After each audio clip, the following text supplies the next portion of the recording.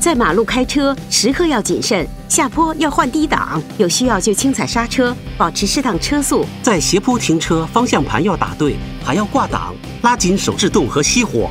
万一在快速道路坏车，要打开危险警告灯，尽可能驶离行车道，还要熄火。肯定可以安全离开马路才下车。